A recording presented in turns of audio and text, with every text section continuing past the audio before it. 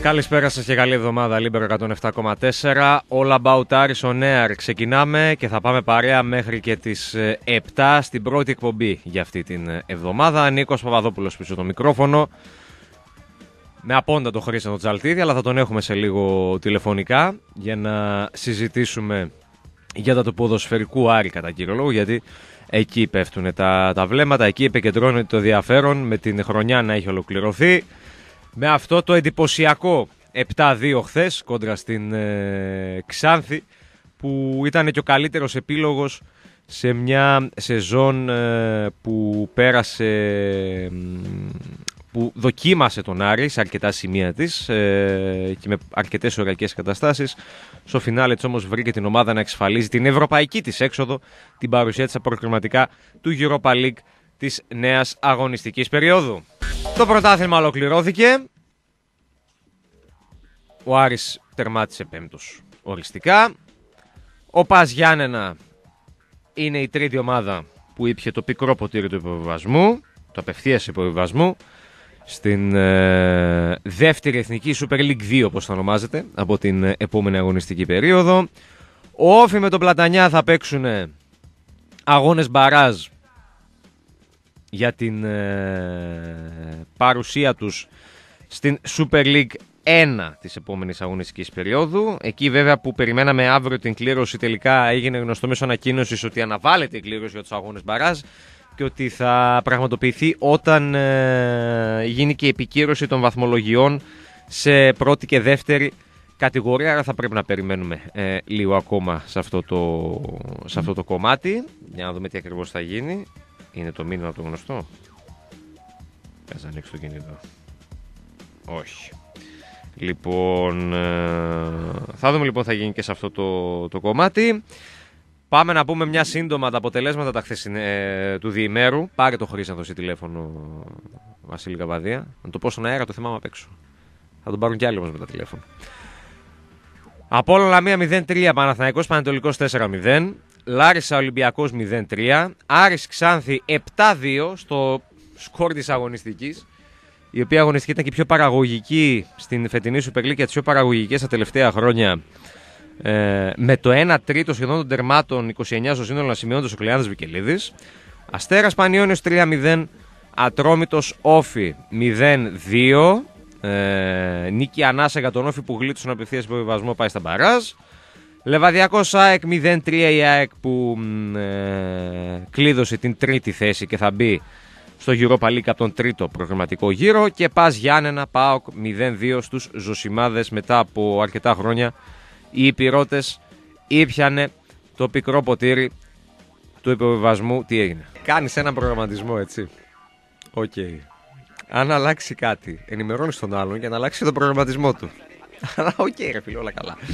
λοιπόν, ε, θα τον έχουμε μετά τις 5.30 το Χρήστο τον Τζαλτίδη. Για σας περιμένετε να ακούσετε το σχόλιο του για το χθεσινό παιχνίδι και όχι μόνο, γιατί πλέον ε, ξεκινάει και επίσημα η κουβέντα για την επόμενη μέρα του ποδοσφαιρικού Άρη και αυτά τα οποία πρέπει να γίνουν κάθε μέρα από σήμερα θα τη χαρακτήριζα ιδιαίτερα σημαντική ε, εν ώψη της ε, νέας σεζόν γιατί πλέον ξεφεύγουμε από την χρονιά την μεταβατική και πάμε ε, σε μια ε, άλλη προετοιμασία, σε έναν άλλο σχεδιασμό εν ώψη μιας πιο, πιο απαιτητικής σεζόν που περιλαμβάνει και την Ευρώπη του χρόνου και μάλιστα αρκετά νωρίς για τον ε, ποδοσφαιρικό Άρη εκεί στα τέλη ε, Ιουλίου.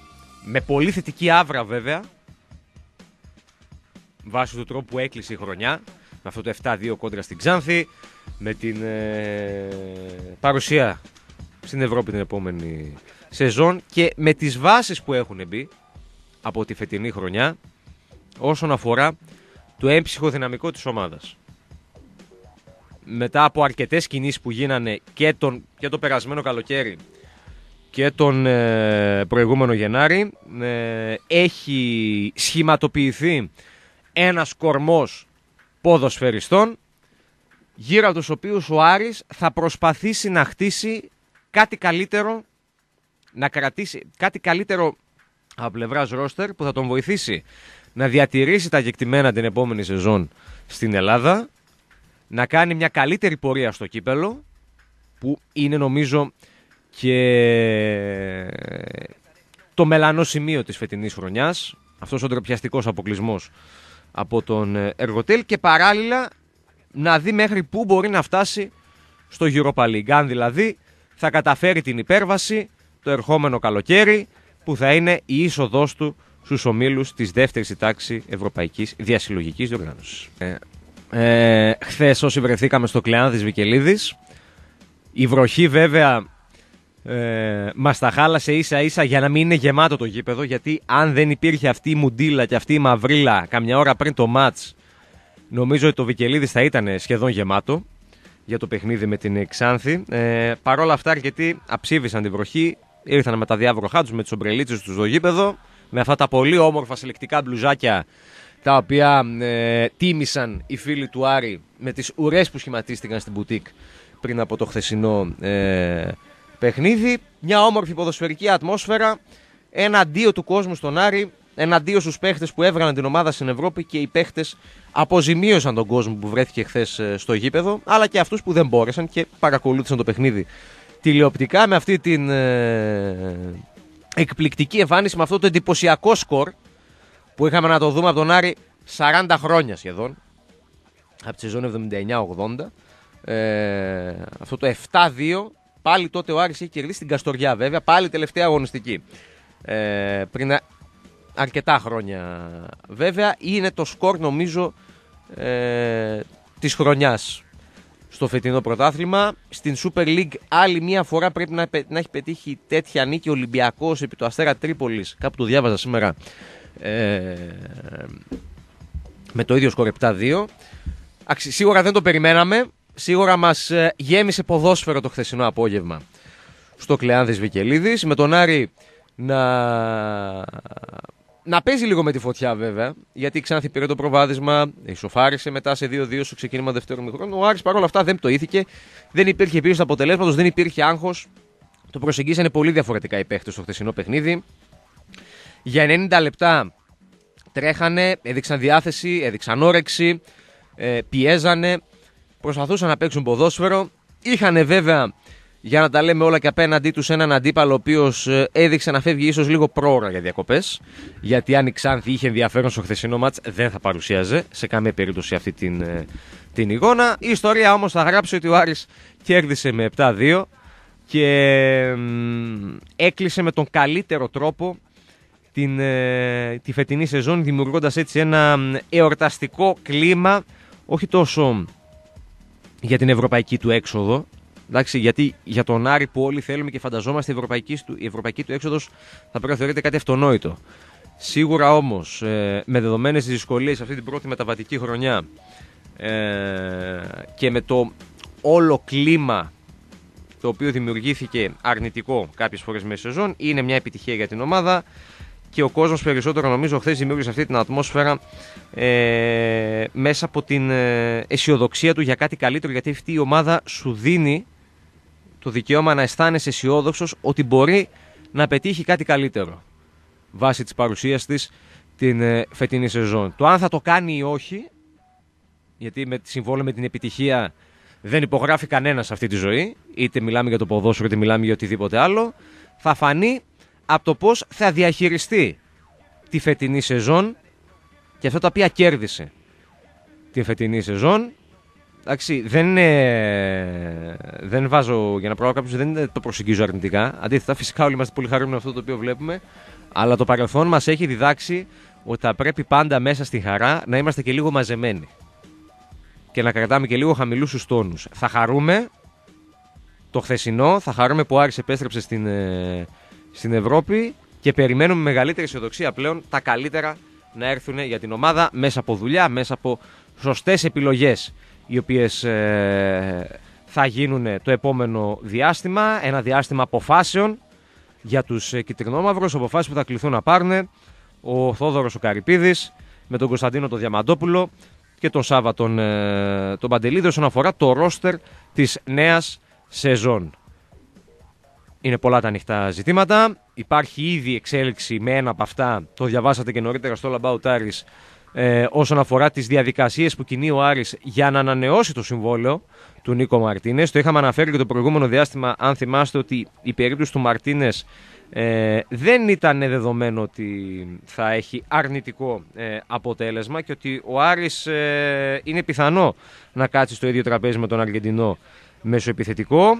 Εντάξει, ακόμα δεν μπορούμε να μπούμε στη δικασία να αναφέρουμε λεπτομέρειες γιατί πρέπει να ολοκληρωθούν και επαφές των ε, δύο πλευρών. Δεν ξέρω αν θα είναι με περισσότερα, με λιγότερα, με τα ίδια λεφτά ε, η συμφωνία στην οποία μπορεί να καταλήξουν οι δύο πλευρές. Πάντως ο Άρης αναγνωρίζει νομίζω στον Αργεντινό την ε, καλή του παρουσία στον δεύτερο γύρο του πρωταθλήματος.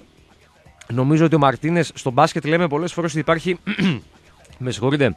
Ο καλύτερος έκτος παίχτης που έρχεται από τον πάγκο. Στον Άρη φέτος είναι ο καλύτερος δωδέκατος που έρχεται από τον πάγκο και τις περισσότερες φορές δίνει βοήθειες και πνοή και φρεσκάδα μεσοπιθετικά ε, στον Άρη ο συγκεκριμένος ε, ποδοσφαιριστής. Τώρα, πώς και τι και υπό ποιες προποθέσει θα συνεχίσει η συνεργασία των δύο πλευρών, αυτό το δούμε ε, μέσα στο επόμενο διάστημα και αφού γίνουν και οι πρώτες επαφές ανάμεσα στις ε, δύο πλευρές. Θα τα συζητήσουμε όλα αυτά και με τον Χρήσανθο στη συνέχεια που θα τον έχουμε ε, τηλεφωνικά και για χθες και για την επόμενη μέρα και για τις αποδεσμεύσεις και για τις ανανεώσεις και για τις μεταγραφές. Θα έχουμε μέρες μπροστά μας να ασχοληθούμε ε, λεπτομερέστατα με όλα αυτά τα ζητήματα. Άλλωστε ο Άρης πλέον από σήμερα μπαίνει σε ρυθμούς νέα σεζόν, όχι αγωνιστικά, αλλά ε, όσον αφορά τον προγραμματισμό του έτσι είναι ε, η κατάσταση. Πάμε στο διάλειμμα με τη βοήθεια του Βασίλη Καβαδία που είναι στη ρύθμιση του ήχου και επιστρέφουμε σε λίγο με τη συνέχεια της εκπομπής. FM και ενώ το μήνυμά σας το 54526, την ερώτησή σας, την τοποθέτησή σας, το σχόλιο σας για τη χρονιά που ολοκληρώθηκε, το σχόλιο σας για αυτά τα οποία ακολουθούν πλέον για τον ε, ποδοσφαιρικό Άρη. Να δούμε μήπως συνέχεια τη ε, ανοίξουμε και τις τηλεφωνικές μας ε, γραμμές. Η ομάδα η οποία έχει ρεπό σήμερα και θα επανέλθει αύριο. Εντάξει, έτσι τελευταία εβδομάδα προπονήσεων είναι για τον ε, ποδοσφαιρικό Άρη. Εκεί πέρα Σάββατο Κυριακή. Θα κάνουμε τελευταία συγκέντρωση, θα χαιρετήσουν τη σημαία και θα φύγουν οι ποδοσφαιριστές για τις καλοκαιρινές τους διακοπές εν ώψη και της ε, προετοιμασίας που θα ξεκινήσουν σε 40 μέρες πλάκα πλάκα ο Άρης. Δεν είναι ούτε λίγο ούτε πολύ σαν, ε, σαν χρονικό διάστημα, εντάξει, ε, αλλά ελέω των, των ευρωπαϊκών αγώνων θα αναγκαστεί ο Άρης να μπει ε, από νωρίς ε, σε ρυθμούς, ε, στους ρυθμούς της νέας ε, σεζόν με περίπου δύο εβδομάδες ε, προετοιμασίας στην ε, Θεσσαλονίκη. Αν δεν αλλάξει κάτι και στη συνέχεια θα μπει στο αεροπλάνο για να, για να αναχωρήσει για το εξωτερικό με πιθανότερο προορισμό την Ολλανδία που θα πραγματοποιήσει και το βασικό στάδιο της προετοιμασίας του. Μέσα σε επόμενες μέρες θα ακούσουμε και το Σάβα Παντελίδη ε, σε μια απολογιστική συνέντευξη τύπου την οποία θα παραχωρήσει ο Έλληνας ε, τεχνικός ο οποίος ήρθε ξένος δέχθηκε εντονότατη κριτική από το ξεκίνημα πριν καν, όχι από το ξεκίνημα, πριν καν ξεκινήσει να κάνει μια προπόνηση, μια-δύο προπονήσεις ο άνθρωπος ε, Βρέθηκε στην πόρτα της εξόδου, αφού είχε πάρθει η απόφαση και άλλαξε στην, ε, στη συνέχεια. Ε, και πλέον νομίζω ότι ε, δικαίως αισθάνεται μέλος αυτής της μεγάλης οικογένειας ε, του Άρη. Το κέρδισε και ο ίδιος, έτσι. Ε, τον βοήθησαν και τα αποτελέσματα σε κάθε περίπτωση, αλλά ε, αυτό το οποίο παρουσιάζει ο Άρης στον δεύτερο γύρο με, την, ε, με το πολύ ε, από, πιο αποτελεσματικό ποδόσφαιρο το οποίο παίζει η ομάδα. Έπαιξε βασικά η ομάδα στα περισσότερα παιχνίδια που έδωσε στον δεύτερο γύρο. Είναι και δικό του έργο. Δεν, ε, σίγουρα ε, η σπίθα νομίζω άναψε από τους ίδιους τους ποδοσφαιριστές σε εκείνο το μάτς με την Ξάνθη που αντέδρασαν και κράτησαν τον Παντελίδη σε εκείνο το παιχνίδι αλλά είναι και η δουλειά του Παντελίδη η οποία σταδιακά άρχισε να φαίνεται γιατί ο άνθρωπος για δύο μήνες περίπου ήταν σαν να έκανε μια προετοιμασία με την ομάδα. OK. Okay. Ε, και δεν είναι μόνο βέβαια δικό του έργο, είναι έργο και ολόκληρο του επιτελείου που έχει για μένα ε, έχει σημασία μεγάλη και, μπορεί, και το περνάμε στον Ντούκ είναι η αλήθεια ε, η δουλειά που έχει κάνει ο γυμναστής που έφερε ο Παντελίδης ο συνεπίθετός του χωρίς να υπάρχει κάποια συγκίνηση βέβαια ο Σάικης ο Παντελίδης στο κομμάτι της φυσικής κατάστασης και φαίνεται από, του, από την ένταση και το τέμπο των ποδοσφαιριστών ε, μέσα στο παιχνίδι. Εντάξει. Και φυσικά και οι υπόλοιποι και ο Τόλης ο Τερζής και ο Άκης ο Βάβαλης ε, που είναι οι άμεσοι συνεργάτες έτσι, του, του Σάβα Παντελίδη ε, όλοι έβαλαν το λιθαράκι τους για να, δούμε, για να βλέπουμε από τον Άρη αυτή την πολύ διαφορετική εικόνα σε σχέση με την αναποτελεσματική παρουσία που είχε ε, επί Πάκο Ερέρα τις πρώτες 11 αγωνιστικές. Σημεία αναφοράς βέβαια στο χθεσινό παιχνίδι και νομίζω ότι το νούμερο ένα highlight του χθεσινού αγώνα είναι το γκολ του Μανώλη Σιώπη ο οποίος πήρε αρχικά την ευκαιρία του ε, στο, στο 27 με το χαμένο πέναλτι. Δεν το εκτέλεσε καλά είναι η αλήθεια. Ε, και το έβγαλε ο Ζήφκοβιτς για να κάνει ο Γιουνέσιν επαναφορά το, το 1-1 ε, πήρε δεύτερη ευκαιρία με το χέρι του Μπαξιβανίδη στο τελευταίο λεπτό καθυστερήσει, στην τελευταία φάση του, του μάτσα. Εκείνη δεν άφησε, δεν άφησε να πάει χαμένη. Είναι πάντως χαρακτηριστικό το ότι όλο το γήπεδο ζητούσε το σιόπι και στις δύο περιπτώσεις. Και εντωμεταξύ κάποιος μου είπε ότι είπα ή στην εκπομπή της Πέμπτης ή στην εκπομπή της Παρασκευής ότι ο Σιώπης θα βάλει γκολ με, ότι μπορεί να βάλει γκολ με πέναλ την Κυριακή. Αλλά δεν το παίξαμε πάλι, Βασίλη. Εφτά απόδοση έδινε. Τα λέμε και δεν τα παίζουμε. Κατάλαβες. Είναι, είναι, είναι εκπληκτικό. Με πήρε ο πατέρας μου τηλέφωνο, μου λέει σήμερα λέει το είχες πει. Λέει, στην εκπομπή λέει πέντε Παρασκευή. Του λέω, okay. δεν το θυμόμουν να του λέω. Τι να σου πω. Πάντως συζητούσαμε και χθες πριν το παιχνίδι με τους συναδέλφους στο, στο γήπεδο ότι είναι πιθανό σήμερα να βάλει γκολ ο Έκατσε ευκαιρία με το δεύτερο πέναλτι, το έβαλε και όπως είχε ε, πήγε σε, σε, μια συνέντευξη που είχε παραχωρήσει στο Λαμπάουτάρι τον περασμένο Οκτώβριο ότι αν σκοράρω μπορεί να πηδήξω λέει και μέσα στην κερκίδα λέει. Δεν μπήκε μέσα στην κερκίδα, αλλά στο κάγκελο μέχρι τέρμα πάνω έφτασε ο, ο διεθνής μέσος ε, του Άρη. Στην περίπτωση του Σιώπη νομίζω δεν είναι ότι ε, κόλλησε να το πω από αυτή την πολύ όμορφη τρέλα που είχε ο κόσμος του Άρη και ο Σιώπης κουβαλάει μέσα του τη δική του τρέλα και ήρθε και συνδυάστηκε με την τρέλα του Αριανού και έχουμε αυτό το αποτέλεσμα. Και γι' αυτό νομίζω ότι είναι από τους πιο αγαπητούς παίχτες ε, του φετινού ρόστερ, αν όχι ο πιο αγαπητός ε, παίχτης, ειδικά μετά και τον τρόπο που πανηγύρισε χθες τον γκολ το οποίο πέτυχε, το οποίο μάλιστα για το Σιώπη είναι και το πρώτο τέρμα το οποίο σκοράρει στην επαγγελματική του καριέρα από το 2013 που αγωνίζει ο επαγγελματίας ποδοσφαιριστής, αρχικά με τον Παλατανιά και συνέχεια με τον, ε, με τον Πανιόνιο. Κάναμε λοιπόν ένα πρόλογο για τα ζητήματα που υπάρχουν αυτή τη στιγμή στην επικαιρότητα του ποδοσφαιρικού Άρη. Πάμε να τα συζητήσουμε και με περισσότερες λεπτομέρειες, να ευαθύνουμε λίγο και με τον Χρήσανθο Τζαλτίδη, τον οποίο τον έχουμε στην άλλη άκρη της τηλεφωνικής μας γραμμής. Χρήσανθε, καλησπέρα. Τι κάνετε, Καλά. Μπράβο.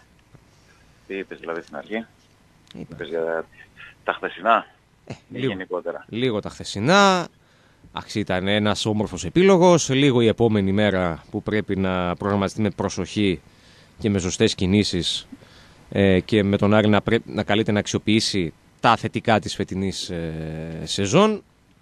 Εντάξει. Κοίταξε, εγώ ε, όπως έγραψα και στο blog του SDNA, αυτό το οποίο ε, νομίζω είναι η μεγαλύτερη επιτυχία για τον Άρη ε, και το Σάβα Παντελίδη και τον Κωνσταντίνο Διαμαντόπουλο και τον Θόδωρο Καρυπίδη και γενικότερα όλα τα στελέχη της ομάδας ναι. και τους παίκτες φυσικά και όλους τους υπόλοιπους δεν είναι ότι ο Άρης πέτυχε την ευρωπαϊκή του έξοδο.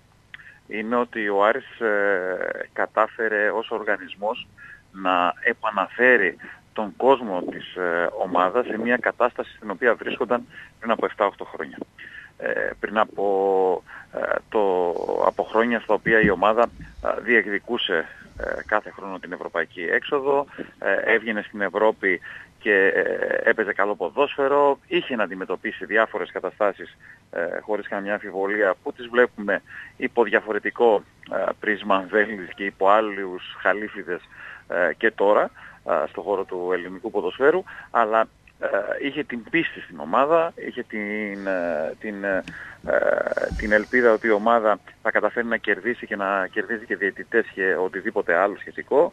Ε, είχε την, ε, ευκαιρία να βλέπει την ομάδα να αγωνίζεται με στόχο πάντα την νίκη και πάντα να πετυχαίνει και μεγάλες νίκες και να πετυχαίνει πράγματα τα οποία έκαναν χαρούμενο τον κόσμο. Αυτό νομίζω ότι πέτυχε ο Άρης ε, φέτος μετά τον Γενάρη και έπειτα και το πριν το Γενάρη νομίζω ότι όλοι ε, πιστεύουμε και θεωρούμε ότι είχαμε αντιληφθεί το πόσο τοξικό ήταν το, το περιβάλλον παρά το πολύ καλό ξεκίνημα της, ε, της σεζόν. Ε, να μην επιστρέψουμε ε, και πάλι στο τι λέγονταν, γράφονταν, ακούγονταν μέχρι και το παιχνίδι με την Ξάνθη στην Ξάνθη ναι. Ε, και νομίζω ότι όλοι θυμόμαστε το, το μάτι εκείνο που, ok, okay, δεν, δεν διεκδικώ τον όρο του προφήτη, αλλά ε, το είχαμε σημειώσει και μέσα από το All About ARIS, αλλά και την ώρα που πέτυχε εκείνο το γκολ ο Ματίγια με, την, ε, με τη Λαμία, ότι εκείνο το γκολ θα βγάλει τον Άρη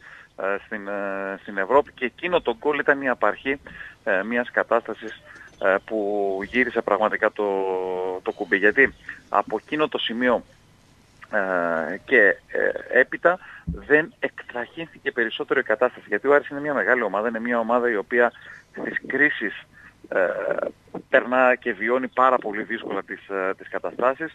Δεν έχει μάθει να τις διαχειρίζεται με οποιαδήποτε διοίκηση, με οποιοδήποτε προπονητή, με οποιοδήποτε ποδοσφαιριστή, με οποιονδήποτε δημοσιογράφο ή οτιδήποτε άλλο.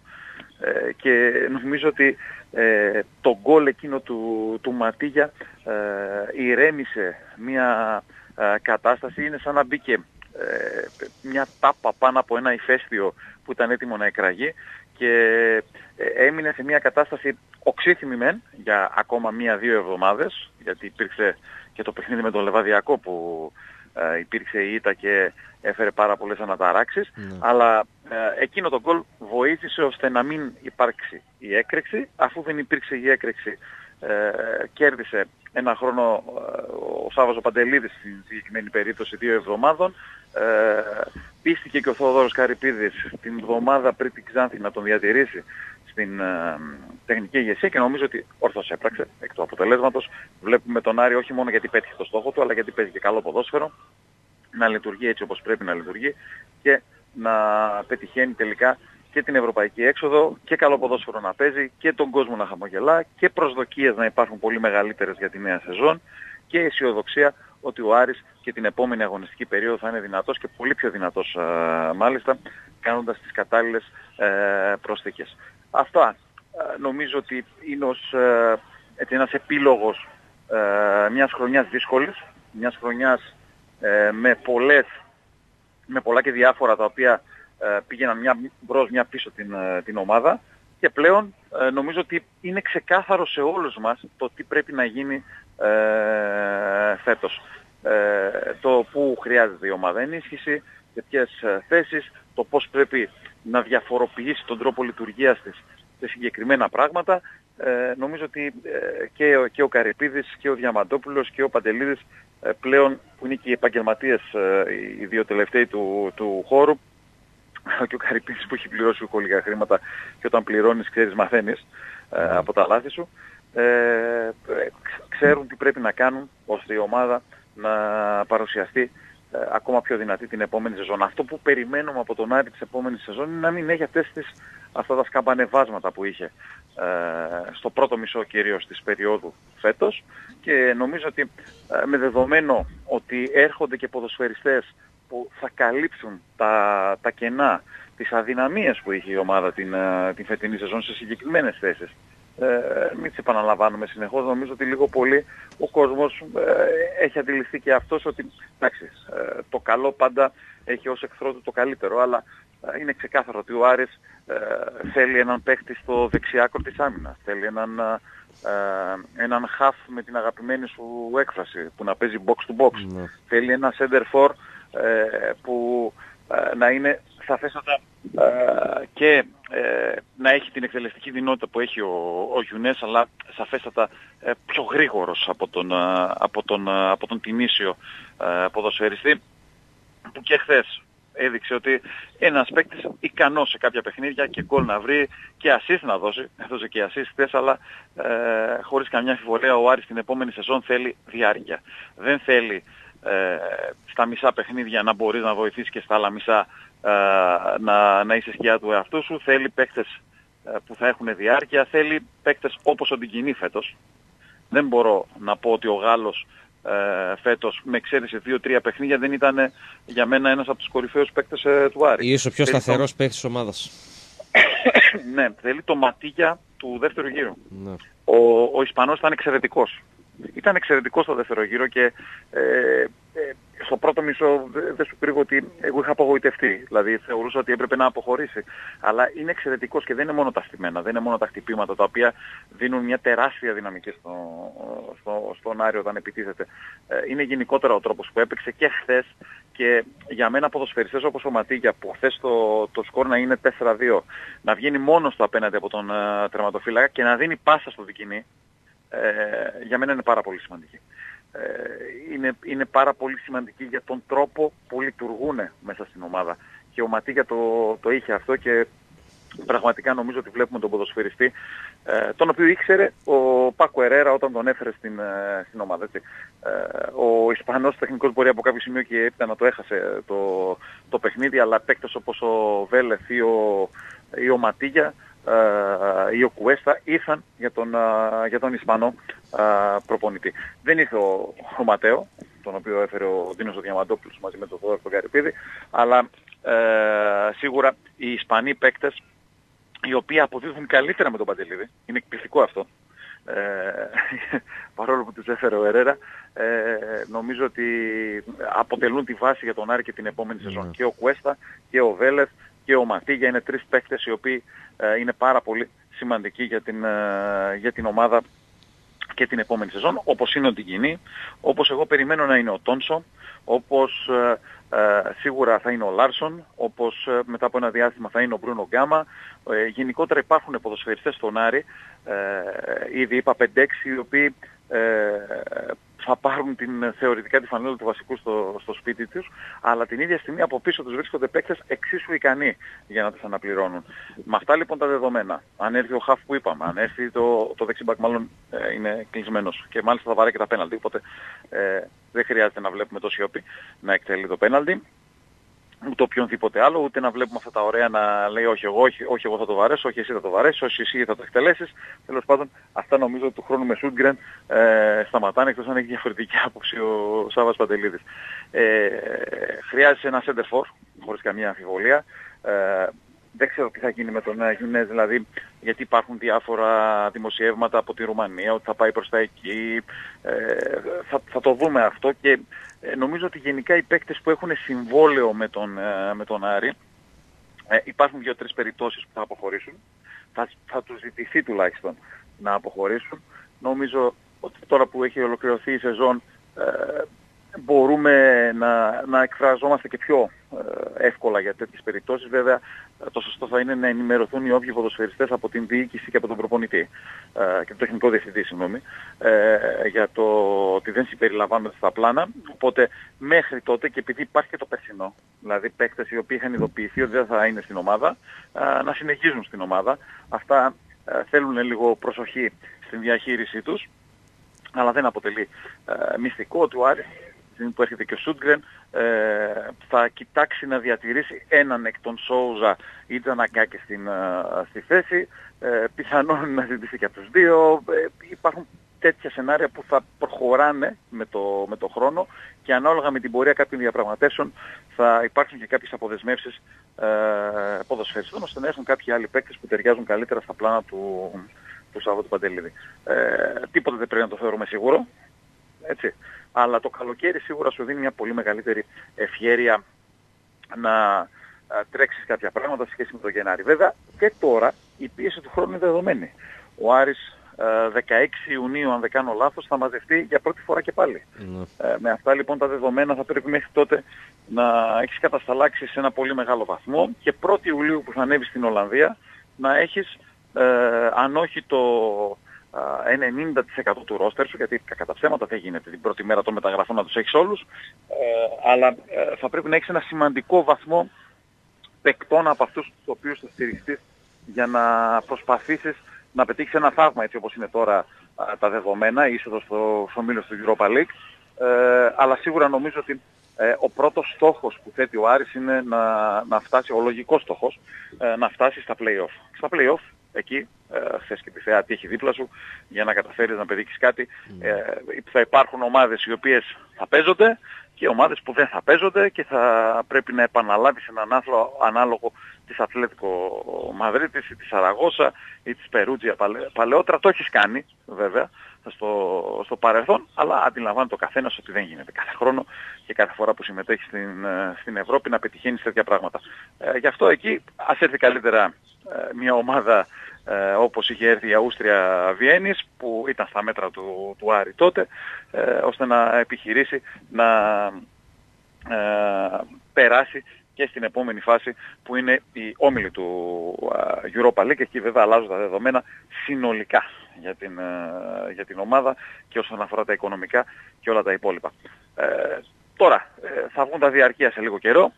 Εκεί θα δούμε και τη δυναμική του κόσμου αν από τα λόγια πάμε στα, στα έργα. Ε, χθες ας πούμε είχαμε περίπου 3.000 ε, εισιτήρια πόρτας. Ε, αυτά τα, τα εισιτήρια δεν είναι σε καμία των περιπτώσεων αυτά που αντικατοπτρίζουν τη δυναμική του κόσμου, αλλά είναι λίγο καντέμισο ο Καρυπίδης είναι η αλήθεια.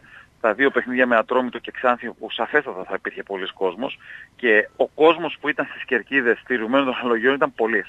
Με ελεύθερη τηλεόραση, με αδιάφορα τα παιχνίδια και με τέτοια βροχή ε, με τον Ατρόμητο βέβαια εντάξει και την ώρα του μάτς. Χθες ε, η βροχή ε, λες και έπεσε ακριβώς για να αποτρέψει ε, τον κόσμο από το να βρεθεί στο, στο γήπεδο. Ε, χρειάζεται ο κόσμος του Άρη να είναι στο γήπεδο πέρα από την συμπαράσταση στην ομάδα και για την οικονομική στήριξη στη διοίκηση. Το έχει πει πάρα πολλές φορές ο Καρυπίδης. Νομίζω ότι θα δοθεί τώρα μια ευκαιρία μεταδιαρχίας ε, και φθηνότερο να βγαίνει το εισιτήριο για τον, ε, για τον φιλάθλο με την αγορά του, του διαρκείας γιατί τα μεμονωμένα εισιτήρια χωρίς καμία αμφιβολία θα είναι ακριβότερα τη σεζόν που έρχεται και πλέον θα πούμε σε μια λογική ότι ο Άρης είναι ένας από τους πέντε μεγαλύτερους συλλόγους στην, ε, στην Ελλάδα και ανάλογα θα διαμορφωθούν οι καταστάσεις σε όλα τα επίπεδα. Δεν έχει κάποιον επιχειρηματία ε, όπως ο Μαρινάκης ή ο Σαββίδης, δεν έχει αλυσβερίσια με κυβερνήσεις ή οτιδήποτε άλλο, δεν έχει αβάντες ε, και χορηγίες ε, κάτω από το τραπέζι, ε, αναγκαστικά με το μέγεθος του Καρυπίδη χρειάζεται και η συνδρομή του κόσμου του Άρη. Νομίζω ότι ο κόσμος βέβαια αυτό το έχει αντιληφθεί πλέον, το έχει καταλάβει και όποιος έχει τη δυνατότητα να το κάνει θα βρίσκεται στον κήπο και θα πληρώνει το εισιτήριό του για να παρακολουθήσει το παιχνίδι. Υπάρχει και ένα θετικό ότι τα παιχνίδια της Ευρώπης θα είναι παιχνίδια τα οποία θα δίνουν τη δυνατότητα για έξτρα εισιτήρια στην, στην ομάδα είναι εκτός των, ε, των διαρκείας και επιπλέον έσοδα λοιπόν για την ομάδα πέρα από βουτή και όλα τα υπόλοιπα που σιγά σιγά όσο περνάει ο καιρός θα τα βλέπουμε να υλοποιούνται γιατί αυτό είναι το πλάνο και θα τα βλέπουμε να, να πραγματώνονται ώστε να μπορέσει η ομάδα να σταθεί στο ύψος των περιστάσεων και στο οικονομικό κομμάτι. Μάλιστα. Ωραία. Σε κάλυψα. Εμένα τον κόσμο. Ε; Τον κόσμο, όχι εμένα. Ναι, φίλε, άμα δεν έχει κάποια ερώτηση, κάτι, τίποτα. Όχι, όχι, όχι. Μ' με πολύ μεγάλη προσοχή. Βλέπω σήμερα έχεις πολλά κέφια σήμερα. Γιατί έτσι, επειδή δεν ήρθα εκεί. Ναι. όχι, όχι. Κουρασμένος αγόρι μου, τι έπαθες. Να πάρουμε καμιά βιταμίνα να σου δώσουμε εκεί χορηγία, κάτι θες; Όλα καλά. Όλα είναι υπό έλεγχο. Άρα περιμένουμε με ενδιαφέρον τον επόμενο μήνα να δούμε τι θα προκύψει με ξεσκαρτάρισμα, με κινήσεις που θα γίνουν. Ε, ναι, κοίταξε, ήδη σήμερα υπάρχει μια ενημέρωση για τον Μαρτίνες. Μαρτίνες ναι.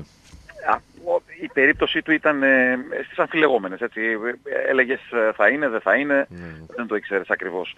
Ε, το ότι ξεκίνησε μια διαδικασία για την ανανέωση του συμβολέου του δείχνει ότι υπάρχει μια απόφαση από την πλευρά του Άρη ε, και πλέον ε, θα συζητηθεί με τον, ε, με τον ποδοσφαιριστή. νομίζω ότι και ο Μαρτίνες με τα τελευταία 10-15 παιχνίδια ήταν και αυτός έτσι όπως έπρεπε όταν ξεκινούσε από τον πάγκο. Όταν ξεκινούσε βασικός δεν.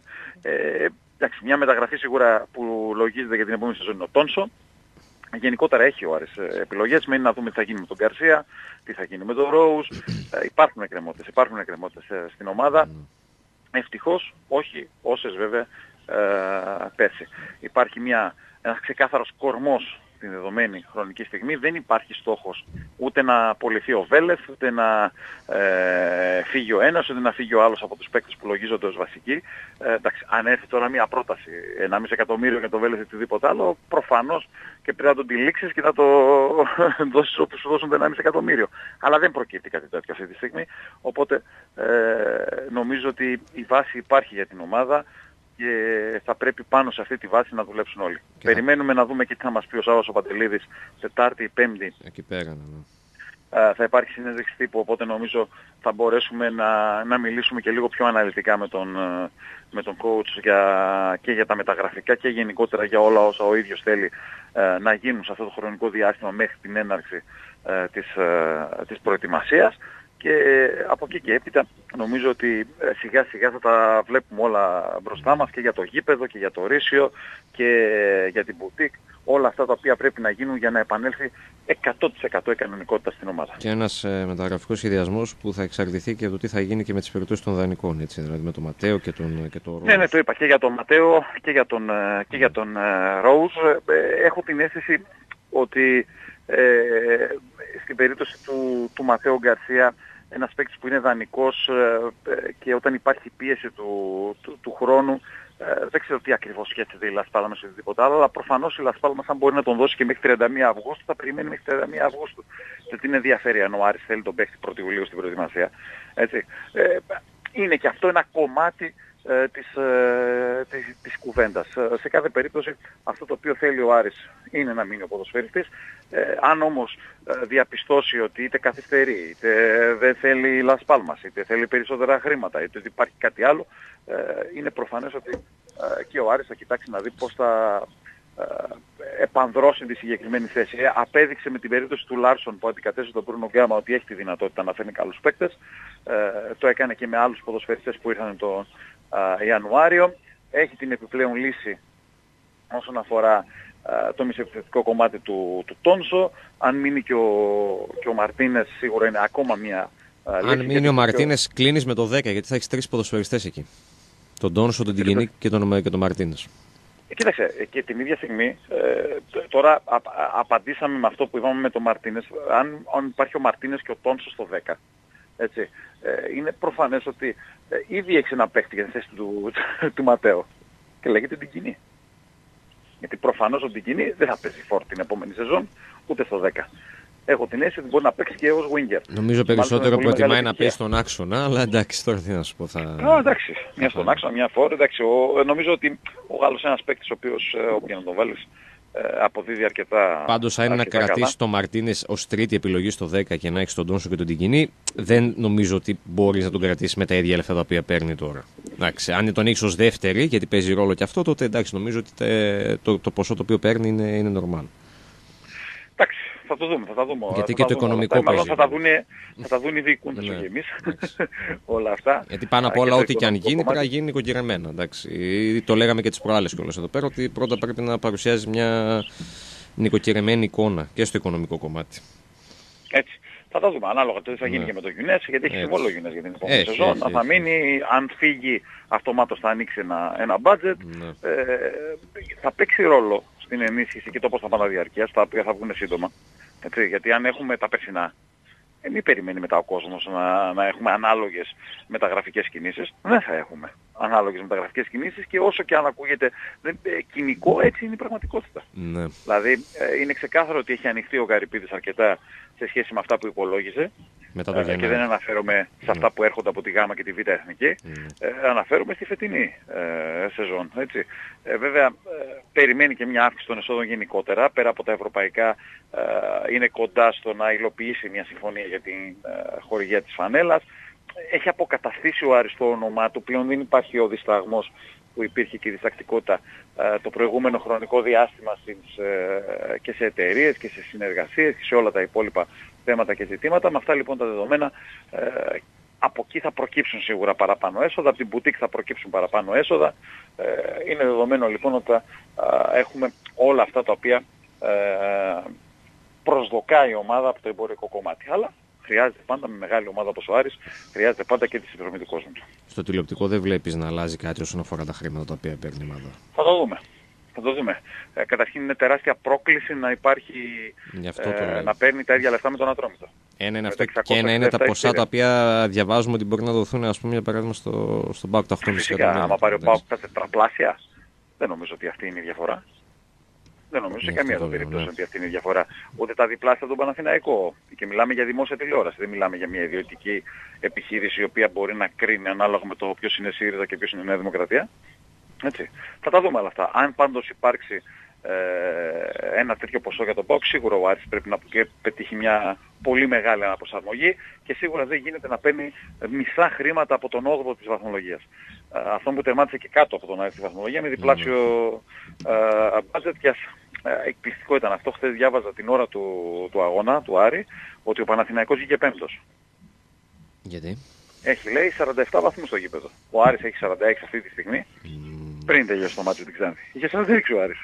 Mm. Άρα λέει και πέμπτος. Μάλιστα. Φυσικά αφού βγήκε τέταρτος μετά το Παναθηναϊκός Άρης, ναι. ενώ έχει ακόμα τρία παιχνίδια, τέσσερα πόσα ήταν, ναι. τώρα βγήκε και πέμπτος πριν παίξει ο Άρης το παιχνίδι. Η επικοινωνιακή, η επικοινωνιακή πολιτική είναι, μετα, είναι μεταδοτική. Για γέλια. Ναι. Για γέλια, για γέλια. Ωραία. Ωραία. Αυτά. Έγινε χρήση να σας ευχαριστούμε πολύ. Να αύριο, αύριο θα έχουμε αναλυτικό ρεπορτάζ για συγκεκριμένα πραγματικά για τις μεταγραφές και λογικά, λογικά θα έχουμε και μια συνέντευξη με έναν εκ των πρωταγωνιστών ανάλογα με τη συνεννόηση που θα έχουμε και με τους ανθρώπους του Άρη. Ποδοσφαιριστή. Ε, ποδοσφαιριστή, ποδοσφαιριστή. Μάλιστα. Ωραία. Έγινε Χρήστος να καλά. Να σε καλά. Καλή συνέχεια. Λοιπόν, αυτά το Χρήστο Τσαλτίδη. Τα κουβεντιάσαμε λίγο, τα είπαμε, τα συζητήσαμε. Ε, και για το χθεσινό μάτς και για την ε, φετινή σεζόν συνολικά, τι αφήνει στον Άρη και τι πρέπει να κάνει η ομάδα από εδώ και πέρα όσον αφορά την επόμενη μέρα. Ο φίλος 779 λέει θετική κίνηση της ΠαΕ για συζητήσεις με Μαρτίνες. Ελπίζω με βολικά οικονομικά δεδομένα. Ο Τόνος πρέπει να πει ότι μπορεί να βγάλει σερή 90 λεπτά. Εντάξει, ο Τόνος αυτή τη στιγμή έχει συμβόλαιο. Περιμένω από τον Άρη πολλά. Περιμένει ο Άρης βασικά πολλά από τον συγκεκριμένο ποδοσφαιριστή. Για μένα το θέμα του Μαρτίνες ε, έχει παραμέτρους. Δηλαδή, αν, έχεις, αν υπολογίσεις τον Τιγκινή για το 10 και έχεις ένα τριάδα Τόνσο Τιγκινή Μαρτίνες, για μένα δεν μπορεί ο Μαρτίνες να πάρει τα λεφτά τα οποία παίρνει φέτος γιατί θεωρώ λίγο υπερβολή η τρίτη σου επιλογή να παίρνει, να παίρνει 150, ε, 150 εκατομμύρια. 150 εκατομμύρια. Ούτε ο Ρονάλντο, όχι Βασίλειο, όχι, όχι.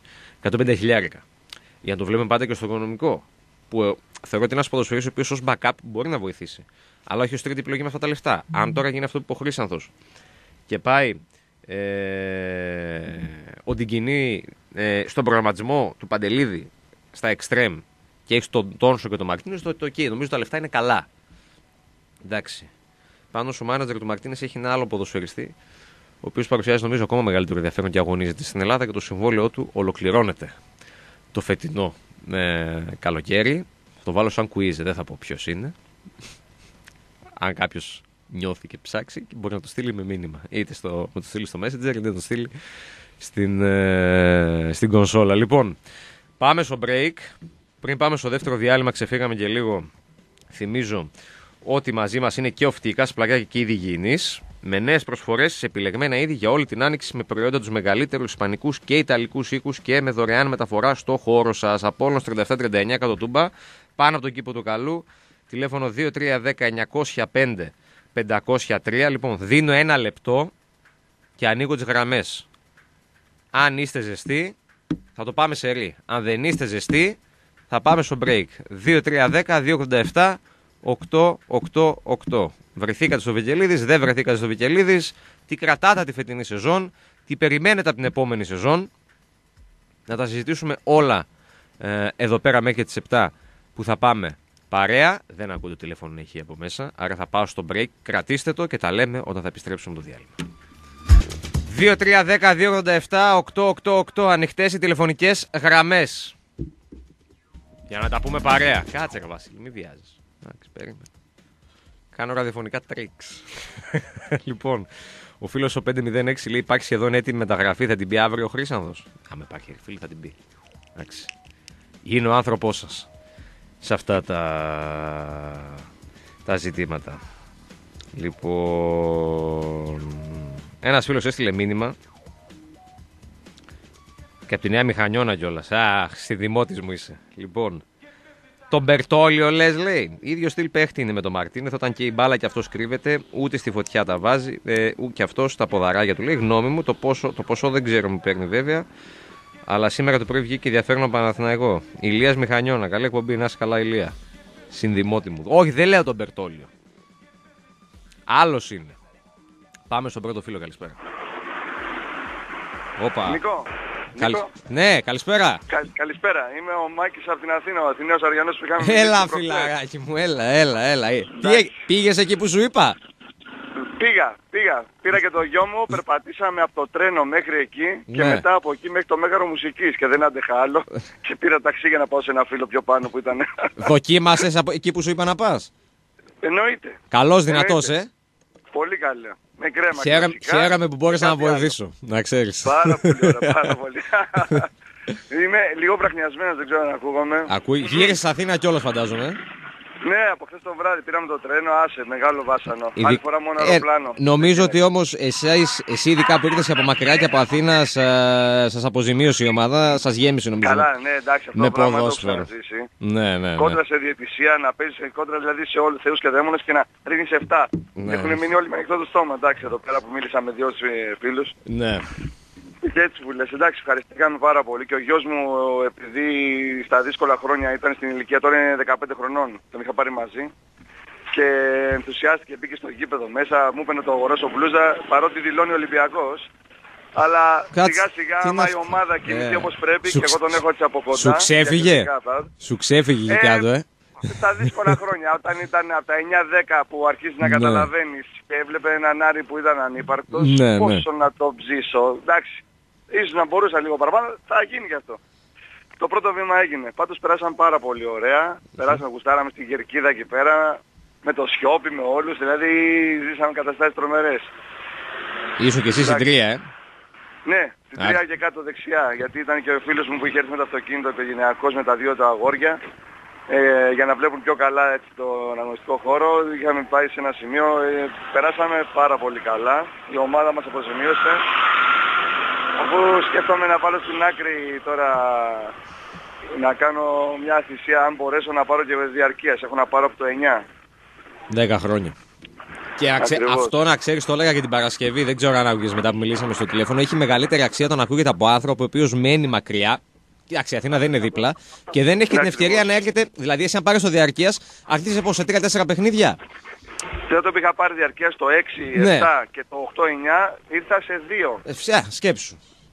Σε 2, 150 ευρώ για να έρθω σε 2 Αλλά έχεις τη σωστή δηλαδή, νοοτροπία ότι το, το παίρνεις για να βοηθάς την ομάδα. Α, μπράβο, αυτό, αυτό, είναι. αυτό είναι. Λέω, ας το κάνανε, λέω λιγάκι ρε παιδί μου. Εντάξει, μπορεί να είναι δύσκολες οι οικονομικές ε, ναι. συνθήκες τα τελευταία χρόνια, αλλά λέω, Λίγο βάλτε στην άκρη ρε παιδιά, γιατί τουλάχιστον όσοι είναι κοντά, στη Θεσσαλονίκη μέσα, στις γύρω περιοχές, ρίχνει μια ψυχάλα, μια, μια ψυχάλα, α, στην ψυχάλα, πήγαινε να δεις τον Άρη, Άρης είσαι. Έτσι. Έτσι, ξέρω, εγώ δεν έτσι. ξέρω πώς σκέφτονται μερικοί, ας πούμε, λέω κρίμα. Τέλος πάντων, δεν πειράζει, μακάρι όλοι να σκεφτούν μακάρι, έτσι με αυτό θετικά. Να χτυπήσουμε διαρκές τρελό αριθμό και να τρελαθούν όλοι, ας πούμε, να πούνε τι γίνεται. Ο Άρης, ξέρω εγώ, 13.000, διαρκές 14-15 να πάθουν πλάκα. Πρώτος μάγκας αν ο κόσμος άμα το κάνεις αυτό. Έτσι μπράβο, έτσι μπράβο. Και θα μπορέσει και ο Καρυπίδης να φτιάξει τα όνειρά μας σε πραγματικότητα στο μεγαλύτερο δυνατό βαθμό όσο γίνεται και σιγά σιγά όλο και καλύτερα. Έτσι μπράβο. Έτσι. Λοιπόν, σε ευχαριστώ πολύ. Να σε καλά Μάκη μου, να σε καλά. Κάτα ξαναπούμε. Έγινε, να σε καλά. Πάμε στον επόμενο φίλο, καλησπέρα. Γεια σου φίλε Νίκο. Ω, κύριος Θανάσης. Σε αφήσανε μόνο σήμερα. Ναι, εντάξει, συνδυσμένα τα βουνά στα χέρια. Δεν πειράζει. Δεν πειράζει. Τι ωραίο θέμα ανέφερε ο προηγούμενος. Ποιο, τα, δια... θέλω τα διαρκείας. Να συνεχίσω. Βασικά δεν είναι ο λόγος αυτό. Δεν είναι το διαρκείας φίλε. Είναι το πόσο λειτουργεί το μυαλό και τι χαρακτήρα έχει ο κάθε άνθρωπος. Ναι. Και πώς βλέπει τα πράγματα. Το τι παιδεία έχει, το τι ζητάει και τι, το έχει, τι έχει μάθει στη ζωή του. Α, εκεί είναι όλο το πράγμα. Δεν είναι το διαρκείας. Είναι πώς συμπεριφέρεσαι. Ε, δεν γίνεται τώρα ας πούμε να κάνεις κουβέντα για, για το χθεσινό επειδή μισή ώρα πριν ε, έκανε αυτό που έκανε. Άστο. Αυτοί όλοι που πήγαμε με τον Ατρόμητο, λέω ένα παράδειγμα, αυτοί που πηγαίνουν, ο άλλος που δεν πηγαίνει δεν είναι θέμα χαρακτήρα ανθρώπου νοοτροπία ανθρώπου. Είναι. Τα υπόλοιπα είναι για λαϊκή κατανάλωση, για να δικαιολογούμαστε σαν λαός το έχουμε αυτό να δικαιολογούμε στη συνέχεια. Πάντα οι άλλοι και όχι εμείς και δεν κοιτάμε τον εαυτό μας τον καθρέφτη. Ναι. Πάμε όμως στα ευχάριστα. Πάμε. Πώς θα σου φαινότανε να πάμε ταξίδι στο Old Trafford; Η United η οποία θα τερματίσει. Με θα συγχωρείς πάρα τερματίσει. πολύ. Περίμενε, περίμενε. Γιατί Το μπορεί να, μην θέλω το, σε μήνω από μπορεί χθες να τα μην το φιλά. ξέρουν κιόλας κάποιοι. Η United θα τερματίσει έκτη και θα μπει στον δεύτερο προγραμματικό γύρο του Europa League. Ναι ρε παιδί μου. Δεν Άρα την θα πετυχαίνεις παίξει- γιατί θα είσαι στους ισχυρούς. Τι λες καλέ. Τι λες καλέ που λένε. Γιατί στο, στα play-off Στον θα είναι δεύτερο, ισχυρός. στο δεύτερο προγραμματικό σου Στο λέω. δεύτερο. Στο- Δεν θα την πετύχω. Ναι, Αν τρίτο, όλα- Στον τρίτο ή στα play-off. Ναι. Ναι. Εκεί αλλάζουν Ναι, λίγο ναι. τα δεδομένα. Είναι λίγο, είναι λίγο ονει- όνειρο, δεν είναι ωραίο. Ε; Και πες μου ρε Σινίκο, με συγχωρείς τώρα, έτσι. Εντάξει. Η σοβαρότητα είναι σοβαρότητα. Αν, αν μείνει έτσι, η United δεν τη βλέπω να ξέρεις. δηλαδή με συγχωρείς ρε φίλε. δηλαδή θα έχει τώρα Τι κάνετε, φίλε, φίλε. ναι, το Smalling και το Jones άμα έχεις αστόπερ. Ε, αν συνέχισε τώρα να τα λες εσύ ρε, να μην Εντάξει. τα πω εγώ. Θα τους- Γιατί θα πούνε αυτός είναι Λίβερπουλ. Εντάξει, δεν τους βλέπουν με Δεν τους βλέπουν, μεσοπαιδευτικά, ρε δεν τους φίλε. βλέπουμε. Άστο, Δηλαδή δεν... θα- δεν- Ειδικά εκείνη την κοτσίδα θα την κάνει στον εφηδιασμό. Δεν στρίβουνε τα παιδιά Δεν πίσω στην στρίβουνε. άμυνα, δεν στρίβουνε φίλε. Εδώ θα Δεν- μιλάμε, μπορεί να είμαστε το παδί του United, ok, αλλά εδώ θα μιλάμε ρεαλιστικά. Ναι, α, μπράβο. και ύστερα, αν μου πεις και τον Τεχέα, μόλις θα μπει στο γήπεδο, Ο Ντεχέα θα θα το του ξεπε- υπενθυμίσουμε ρε Ο φίλε. Ντεχέα θα πει πάλι αυτή. Τρία σου τα παίξω είναι η δουλειά. Πώς Πάλι το αυτή. βλέπεις; Ε, λοιπόν, ωραίο πράγμα να κάνεις. Μακάρι να μπω στους ομίλους και να την πετύχω εκεί. Κοίταξε, θέλω πάρα πολύ. Ε, όχι μόνο ας πούμε τη United, γιατί σίγουρα θα είναι και άλλες ομάδες. Θέλω ας πούμε να παίξω με ισχυρούς αντιπάλους. Αυτό, αυτό. Ε, δεν είμαι άνθρωπος ε, να παίξω με Μολδαβούς και αυτό. Όχι. Η ομάδα φίλε μεγαλώνει και μεγάλωσε όταν έπαιξε με τη Leverkusen. Στους Ρόζεμπορ. ομίλους όμως, Θανάση. Δεν Στο έπαιξε ομίλους. προγραμματικά. Ναι, είχε Έχει παίξει όμως και βέβαια με την- τη Σαραγώσα, με την Αούστρια, οκ, Μπράβο, ναι. μπράβο. Ομάδες οι οποίες έχουν μια βαρύτητα, έτσι. Μην κοιτάς τώρα που βρίσκει τη Σαραγώσα, γιατί μετά από εκείνο βρεθήκανε και αυτοί εκεί που βρεθήκανε, αλλά ήταν πάρα πολύ καλή ομάδα. Διέγκο Μιλίτο είχε, αν δεν κάνω λάθος. Διέγκο Μιλίτο είχε μπροστά Μπράβο. που είχε Τον μετέπειτα στην Ίντερ επόμενο που είχε κάνει- πρωταθλητή Ευρώπης, θυμίζω Ναι, τους τον, τον, Ταλ- ανίδεους. τον Ταλεσάνδρο εκείνο με την Α, κοτσιδούλα μπράβο. τη μικρή, τον, Ε, Α- τον μπράβο. Αγιάλα σας το Δηλαδή επειδή βρέθηκαν βέβαια, αυτοί εκεί που βρέθηκαν, τι... αλλά Το, όταν βλέπεις... το Ρικάρντο Ολιβέηρα, το Βραζιλιάνο εκείνο τον Όταν επιθετικό. δεν ξέρεις αγόρι μου καλό και όταν είσαι αυτό που λέω έχεις στο μυαλό άλλου ας πούμε λες αυτά τα χαζά που λες. Οι, νί- οι νίκες αυτές, οι προκρίσεις αυτές ε, δε- ε, αυτές σε μεγαλώνουν. Όχι η Ζήμπρου, Έτσι είναι. κακά τα ψέματα. Καλά, Που εντάξει. δεν, εννο- που δεν εννο- κρίνανε να παίξουν. εννοείται και αυτό. στην Ευκαρπία ρε φίλε. Απλά να σου πω κάτι, ο Αριανός το ζει και όλοι το ζούμε αυτό το πράγμα και κάνουμε όνειρα για playoff και, και ομίλους. Οκ. Α Ναι. φτάσουμε στα playoff πρώτα. Γιατί Ναι, υπάρχουν ρε φίλε, δύο ναι, προκριματικοί γύροι που πρέπει να περάσεις. Και Εννοείται. πρόσεξε, εγώ θα, θέσω, θα, θυμ- θα θυμίσω εκείνο το παράδειγμα της Σλάβεν Κοπρίβνιτσα. Θέλει χαμηλά Ναι. την μπάλα και πολύ μεγάλη προσοχή. Εννοείται δεν νομίζω να κάνουν το λάθος. Μου άρεσε να κάνουν το λάθος με ποια έννοια. Ξέρουν ότι προερχόμαστε από πού και δεν νομίζω ότι μπορούν να βάλουν στο μυαλό τους σκέψεις ότι ε, πια ξέρω εγώ Μολδαβία και πια Κροατία και πια Έτσι. τέτοια. Έτσι. Ε, ας έρθει εκείνη η ώρα που θα παίξουμε μακάρι το δύσκολο παιχνίδι το play-off και να γίνει αυτό να μπούμε στους ομίλους γιατί; Θα είναι όχι μόνο καλό για και να την βγάλουμε ομάδα και γούστα τον μετά από κόσμο, χρόνια πάλι. Μπράβο. Και Αυτό. ο κόσμος σας κάνει την οικονομική θυσία γιατί θα πω και κάτι πάλι κακό για τον κόσμο, για όλους εμάς. 7 χρόνια ε, δεν κάναμε και οικονομικές θυσίες για την ομάδα. Αλλά τώρα θα μου πεις πριν 7 χρόνια, ας πούμε 8, το 10. Αυτοί που πηγαίνανε στα τότε εκτός, άρχιζε η αυτοί που κρίση. πηγαίνανε στα εκτός, τα τελευταία τέσσερα χρόνια κάναν. Κάποιοι κάνανε, γιατί κάποιοι δεν έχουν την... ε, Μην για- μιλάς τώρα για χιλιά άτομα. Ναι, Δεν εγώ σου μιλάμε λέω τώρα... και το 5 ευρώ και το 10 ευρώ τώρα για κάτι παλικάρια που πηγαίνουν στο σουφλί Ναι. στη Χρυσούπολη κτλ. Εντάξει, Ήταν εντάξει, οικονομική θυσία. Εντάξει, μην το κάνεις αυτό σου το λέω. Ναι. Δεν μιλάμε για 500 και για χίλιους. Ναι. Αυτά. Μιλάμε για το μεγαλύτερο κομμάτι. Δεν έκανε καμιά θυσία 7 χρόνια. Εντάξει.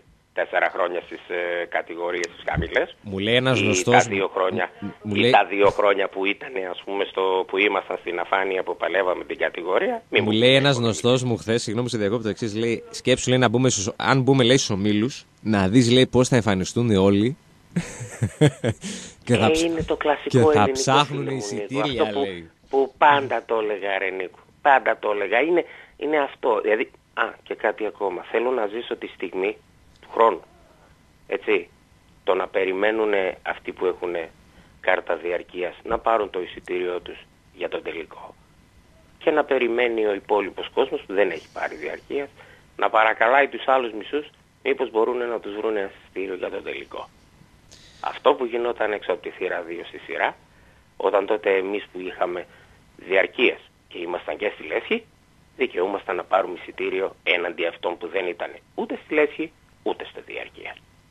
Δεν είναι κακία αυτό το πράγμα, γι' αυτό μιλάω για νοοτροπίες ανθρώπων και χαρακτήρες ανθρώπων και όσοι μπορούν να το κάνουν και δεν το κάνουν, για αυτούς τους ανθρώπους μιλάω. Ας κάσουν πρόστα να σκεφτούν και μετά να έχουν όλα τα δίκαια με το μέρος τους να απαιτήσουν πολύ περισσότερα πράγματα Ναι. από αυτά που απαιτούμε τώρα. Γιατί κακά τα ψέματα, όταν ξέρεις τι έχεις, ποιον έχεις εκεί πάνω και πώς λειτουργεί και τι πρέπει να κάνει για τώρα τι πρέπει να κάνει για τις επόμενες κινήσεις της ομάδος. Δεν πρέπει να καθίσεις απαθής. Υπάρχουν τρόποι όταν ακόμα και οικονομικά δεν μπορείς να στηριχτείς σε φίλους και γνωστούς, λέω εγώ. Ναι. Κάτι που γίνεται στο δικό μου τον κύκλο. Πάρα, με πάρα πολλούς ανθρώπους και μεγάλους σε ηλικία. Εγώ πάντα αναφέρομαι σε αυτούς που έχουν την οικονομική δυνατότητα. Βάλε τον επίλογο γιατί έχουμε να Είναι- ακούσουμε ώρα και τον ναι. επόμενο. Ναι, είναι αυτό που λένε Ναι. όλοι πήραμε δάνεια, αλλά υπάρχει και ένα 40, 30, 40% που πήραν τα δάνεια και μπορούν να τα πληρώσουν και δεν τα πληρώνουν. Και δυστυχώς κυνηγούν αυτούς Που δεν μπορούν να τα όχι που έχουν και δεν μπορούν να πληρώσουν. Που δεν είναι έχουν. κάτι τέτοιο, κάτι τέτοιο ανάλογο, δηλαδή καταλαβαίνεις Ναι, τι θέλω ναι. να σου πω. Σε ευχαριστώ πάρα πολύ. Να είστε που καλά μ' κύριε άκουσες. Θανάση, Γεια να σου, είστε γεια καλά. σου, Λοιπόν, πάμε να ακούσουμε ώρα. Είναι 6 και 35 και πάμε απευθείας στον επόμενο φίλο. Πάμε στον επόμενο φίλο, καλησπέρα. Καλησπέρα. Χαίρετε. Απολογισμός καλός στο τέλος. Με πάρα πολλά σκαμπανεβάσματα η ομάδα φέτος φίλες. Έτσι. Με ένα κερδισμένο ντέρμπι μόνο. Με την ΑΕΚ στο κήπεδο μας. Τα άλλα όλα χαμένα. Ακόμα και με την ο, φανέλα του Παναθηναϊκού μια ήττα και μια ισοπαλία. Θέλει δουλειά η ομάδα. Σίγουρα θα δούμε τι θα δείξει. Κρίσιμη χρονιά όπως έχω πει εγώ σου λέω είναι αυτή που έρχεται τώρα. Δείχνει προγραμματισμό. Συμφωνώ. Μιλάνε με... Δείχνει προγραμματισμό η ομάδα. Δεν τα... Ο Άρης ποτέ δεν ήταν. Εγώ, εγώ είμαι 50 χρονών φίλε. Το παράπονο μου είναι ότι ο Άρης ποτέ δεν ήταν έτσι σοβα... σοβαρός. Δεν θέλει πολλά πράγματα στην Ελλάδα. Δεν θέλει πάρα πολλά. Δύο-τρία πραγματάκια θέλει να τα κάνεις και σε πεντάδα έτσι για πλάκα. Για πλάκα. Και για μένα δεν θέλω ούτε πολλά λεφτά. Να ξέρεις. Μπράβο. Αυτό φάνηκε και φέτος έτσι. Εκεί. Στο κομμάτι αυτό πάμε και στον ε, Φέτος, άνθρωπο. φέτος ξε... ο Καρυπίδης ξέφυγε λίγο από τον μπάζετ που είχε ορίσει το περασμένο καλοκαίρι, το Γενάρη. Οκ, γιατί Ναι, κυνηγούσε την Ευρώπη. Ο άνθρωπος όμως που τα διαχειρίστηκε ο Διαμαντόπουλος, αυτός θα, θα φύγει, ξέρεις. Ορίστε. Ο, Διαμαντό, ο Διαμαντόπουλος θα κάτσει θα φύγει. Ο Διαμαντόπουλος δεν έχει υπάρχει ακόμα κάτι οριστικό, αλλά δεν νομίζω να φύγει. Θα συνεχίσει κανονικά, αφού ήδη συμμετέχει Αυτό. στο σχεδιασμό. Αν συνεχίσει φίλε αυτό είναι ευχάριστο διότι αυτός με αυτά τα λεφτά βλέπεις τι κατάφερε και έκανε έτσι και τον προπονητή κράτησε. Ναι, επέ- ο Διαμαντόπουλος δικαιώθηκε στο θέμα του Παντελίδη. Γιατί Και στο θέμα του επέμεινε, Παντελίδη. ναι. Λοιπόν, ναι, βλέπω σχεδιασμό, τώρα ακούω, δεν ξέρω, μιλάμε με τον Μαρτίνο, το να μείνει ακόμη μια χρονιά. Ε, αυτό το οποίο βγαίνει από την ΠαΕ είναι ότι θα ξεκινήσουν άμεσα συζητήσεις για ανανέωση του συμβολέου του ακόμα ένα χρόνο. Άρα σημαίνει φίλε ότι η θέση 10 έχει κλειδώσει. Αυτός και ο Τόνσο. ε, Και θα πάρεις κι άλλο και Ε, τρίτο. και ο Ντιγκινίπε θα πιστοχωρήσει. Ε, άρα δεν, δεν, δεν σκοπεύεις να πάρεις παίκτη. σε Όχι, εκείνη στο, τη στο, θέση, το, παραμένεις εκείνη η όπως θέση είναι νομίζω ίσως και μοναδική που οι, παίκτες του Άρη δεν έχουν- οι άνθρωποι του Άρη δεν έχουν τσεκάρει ζεστά κάποια περίπτωση του ποδοσφαιριστή. Γιατί έχουν επιλογές. Λοιπόν, εντάξει τώρα αυτό το παιδί που ήρθε από την Τρίπολη δεν τον είδαμε κιόλας, να πούμε και την αλήθεια. Δεν τον είδαμε, δεν ξέρουμε τι τραυματισμό έχει. Εγώ δεν ξέρω τι τραυματισμό Στη έχει. Γάμπα είχε ένα θέμα. Η Γάμπα μπορεί να φαίνεται σε πολλούς κατά πλέον να είναι λίγο ύπουλο είναι η αλήθεια. Δεν έγινε και σωστή διαχείριση νομίζω του Τόνσου σε κάποια μάτς. Αλλά εντάξει, νομίζω ότι του χρόνου θα τον δούμε, θα τον δούμε υγιή. Πάντως εγώ βλέπω προγραμματισμό. Αν κάνει και- προετοιμασία καλά κανονικά. Βλέπω προγραμματισμό ναι. και είμαι αισιόδοξος και για τη νέα χρονιά. Υπάρχει αισιοδοξία. Αν υπάρχει μια... Να σου πω κάτι, στον Άρη μετά από πάρα πολλά χρόνια. Υπάρχει μια πολύ αισιόδοξη άβρα.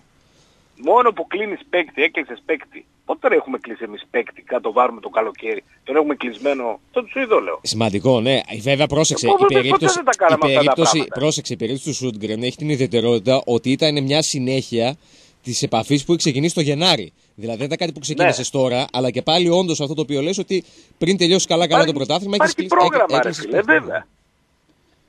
Δεν μου λες. Ποιος είναι το ρόντο φυλακάς της Λαμίας, πώς το λένε, τον ξεχνάω. Ο, ο Σαράνοφ. Ε, από... Ναι, κάτι έχω ακούσει να έρθει και αυτός φίλε. Δεν νομίζω, όχι, όχι. όχι. Δεν νομίζεις; Mm. Πάντως στη θέση αυτή θέλουμε έτσι. Ορίστε, θέλουμε. Ανταγωνισμό, θέλεις δύο εκεί. Εγώ νομίζω ότι ο Άρης θα κινηθεί για άλλον ένα τερματοφύλακα σίγουρα, για δεύτερη επιλογή, ναι. Εγώ κάτι άκουσα για αυτό, για τη Φλαμία. Μπορεί να είναι και ράδιο αρβίλα και φήμες. Θες, πρόσεξε να σου πω κάτι. Θες έναν παίχτη, αυτό που λες πολύ σωστά, να δημιουργεί ανταγωνισμό με τον, ε, με τον Κουέστα και να έχεις μια καλή επιλογή από πίσω σε περίπτωση που γίνει κάτι με τον Ισπανό. Εντάξει, γιατί του χρόνου πες ότι χτύπα ξύλο Κουέστα τραυματίζεται. Ok. Okay. Θες, θες, θες, έχεις Ευρώπη, έχεις... Θες από πίσω, θες από πίσω κάτι καλό, όχι πολύ ακριβό, mm. όχι πολύ ακριβό, αλλά κάτι καλό. Και νομίζω ότι μπορείς να βρεις. Εγώ με τις άποψεις γενικότερα να ξέρεις ότι στο ποδόσφαιρο δεν χρειάζονται πολλά λεφτά, χρειάζεται απλά να ψάχνεις. Άμα ψάχνεις, μπορείς να βρεις καλούς παίκτες και με λίγα χρήματα. Που να σου κάνουν Σίγουρα. μια συγκεκριμένη δουλειά. Τώρα εντάξει, για, να, για έναν παίχτη που θα σου κάνει τη διαφορά θα πρέπει να δώσει κάτι παραπάνω. Για το φόρο, ας πούμε, ο Άρης θα κάνει τη μεγαλύτερη του επένδυση φέτος το καλοκαίρι. θέλει, θέλει να φέρει ένα killer. Και για να φέρεις τον killer πρέπει να πληρώσεις. Άντε να δούμε από πού θα έρθει αυτός ο killer. Τον περιμένουμε τόσο καιρό να πούμε τελευταίος μας ποιος ήταν, ο Κάμπορα ήταν ο τελευταίος μας. Κάμπορα ήταν. Και ο Αγκάνθο είχε τάσεις. Αν δεν είχε το θέμα με το γόνο, ναι. με το πόδι του Αγκάνθο, θα ναι, μπορούσε να, ναι, να πετύχει πολλά περισσότερα. Αλλά ο τελευταίος ο κλασικός ήταν ο Κάμπορα, ναι. Ο Κάμπορα ήταν ο Κίλερ. Έχει τέτοιο Ένα τέτοιο φόρφαλ. Να σε καλά. Καλά να σε καλά. Βασίλη, έχουμε άλλον. Παρά 20 είναι, ρε φίλε. Κάνουμε break τώρα. Όχι, α, το πάμε σε έλκτο, εντάξει. Κλείσουμε σε κανένα δεκάλο. Για άλλα 10 λεπτά ανοιχτές οι γραμμές 2-3-10 287 888 για να ακούσουμε το δικό σας απολογισμό της φετινής χρονιάς. Τι κρατάτε εσείς από τη φετινή σεζόν, τι περιμένετε από την ε, νέα σεζόν; Για δώσε λίγο το χαλί. Πάμε στον επόμενο φίλο. Έχει στείλει 753 αρνητική εντύπωση και μεγάλο κόμπλεξ θέσει αθλητικά του Open. Έπαιξαν άρι πακέτο με δύο ακόμα αγώνες μετά τις 12 και χωρίς να κάνουν ε, ούτε ένα σίγμα. Σχόλιο φαντάζομαι. Εννοεί, ε, εντάξει, τι να κάνουμε τώρα. Είπαμε, είναι επικοινωνιακή πολιτική, όπως και να το κάνουμε. Πάμε στον επόμενο φίλο, καλησπέρα. Ναι, γεια σας. Γεια σας. Εγώ μιλάω. Εσείς μιλάτε. Κάτι για Ανσαριφά έχω ακούσει. Παίζει κάτι; Ακριβώς. Ακριβώς, ε; Ακριβώς. Δηλαδή; Ε, είναι για τα δεδομένα του Άρη είναι, είναι ακριβώς ο συγκεκριμένος. 500 και κάτι, ε; 500 και πάνω, ναι. 500 και πάνω. Ναι, ναι, ναι. Και άμα βάλεις και εφορίες πάμε 750. Εγώ συμφωνώ με σένα πάντως. Αν ψάξεις, υπάρχουν παίχτε. Εγώ είμαι αυτής της. Ε, Δεν χρειάζεται ας πούμε να... Και αν κοιτάξεις και τα μεγάλα κλαμπ, τι κάνουν τα μεγάλα κλαμπ; Πετσιρίκια από, από, από πίσω σμπρώχνουν, ψάχνουν, αγοράζουν 20, 21, 19 εκεί πέρα μέσα. Αυτές είναι οι ηλικίες. Κοίτα να σου πω κάτι. Πρέπει να έχεις και έμπειρους ποδοσφαιριστές. Πρέπει να έχεις και, και, και επιλογές από το πάνω ράφι. Αλλά θα τις κάνεις ε, και αυτές. Αλλά γενικότερα, άμα ψάξεις, μπορείς να βρεις πράγματα. Μία τέτοια απόδειξη στο φετινό ρόστρι, για παράδειγμα, είναι ο Ρόουζ. Ο Άρεσα το πουθενά πήγε έφερε δανεικό έναν στόπερ από την Β' Γαλλίας και το παιδί και βγήκε λίρα 100. Και σου βγήκε, ναι. Εντάξει. Βγήκε. Δεν σου λέω ότι είναι ο αμάν αμάν στόπερ. Σαν το Ρόουζ για μένα μπορείς να βρεις κι άλλους. Ok. Okay. Αλλά είναι μια απόδειξη, ρε παιδί μου, ότι αν ψάχνεις. Όχι, όχι. Ο, ο, εμένα ο Ρόουζ ναι. Είναι του 7, αλλά το 5. Ή, ή, ή ένα άλλο παράδειγμα, ας πούμε, είναι ο Βέλεθ. Που δεν παίρνει και αυτός πάρα πολλά λεφτά. Εντάξει. Όταν ο Βέλεθ έλειπε, δεν είχε ποιος θα βγάλει την μπάλα από πίσω προς τα μπρος. Αυτό. Δεν, ναι. Είχαμε πρόβλημα εκεί. Ε, φυσικά. Ε, ε, ειδικά που τραυματίστηκε, δεν θυμάμαι σε ποιο παιχνίδι. Τον Μπάουκ ήταν τραυματίστηκε και βγήκε στο 10. Εκεί τελείωσε το παιχνίδι για μας. Ναι. Ναι, τελείωσε το παιχνίδι. Δεν ε, ήταν, δηλαδή ήταν ο, ο Βέλεθ, ας πούμε, που πρέπει να τον κρατήσει ο Άρης Βέλεθ. Ξεκινάς από εκεί. Αυτή τη στιγμή δεν προκύπτει κάτι που δείχνει ότι δεν θα τον κρατήσει. να τον Αλλά να αφήσεις σου, κι να, αν- σου, να σου πω κάτι και να φύγει ο Βέλεθ, που δεν το λέω επειδή μπορεί να φύγει ότι υπάρχει κάτι, κουβέντα κάνουμε και μιλάμε υποθετικά. Ναι, ναι. Θα βρεις άλλο να μιλάμε για μια αγορά η οποία είναι, ε, έχει α, αμέτρητες επιλογές η αγορά του Φίλε μου, ποδοσφαίρου. Σε όλο εγώ τον μαζί κόσμο. Σου είμαι, εγώ μαζί σου είμαι, αλλά πρέπει η ομάδα, είπαμε, φέτος ήταν πρώτη χρονιά, πρέπει να αποκτήσει κάποια στιγμή χημεία. Η Χημεία, ένα ηλικία κορμό. είναι- ναι, κορμό, κορμό, χημεία. Ταιριάζει και με τον Κουέστα τον Ισπανό. Παίξανε ξανά μαζί. Εγώ πιστεύω ότι ξεκινάμε από εκεί. Βέλεθ Κουέστα. Και Γκαρσία άμα κάτσει. Τώρα δεν ξέρω τι, τι κάνει Λας Πάλμας γιατί καθυστερεί. Ίσως περιμένει κάποια πρόταση. Αλλά εγώ πιστεύω ότι η πρόταση του Άρη είναι πολύ ικανοποιητική. Και αν είναι έξυπνος ο Γκαρσία πρέπει να κάτσει. Για μένα είναι πολλά τα λεφτά. Για τον Γκαρσία. Ναι, Μην το λες. είναι Μην το πολλά. λες. Είναι πολλά. Μην το λες. Πάντως η Μην το- Λασπάλμας, από τη Λασπάλμας για την ώρα δεν βγαίνει κάτι και από ό,τι διαβάζαμε και πριν λίγες μέρες σε κάτι ισπανικά δημοσιεύματα υπάρχει και η κόντρα τώρα των οργανωμένων με τον πρόεδρο. Δεν είναι Ναι, το ναι. κλίμα πάρα πολύ καλό εκεί πέρα.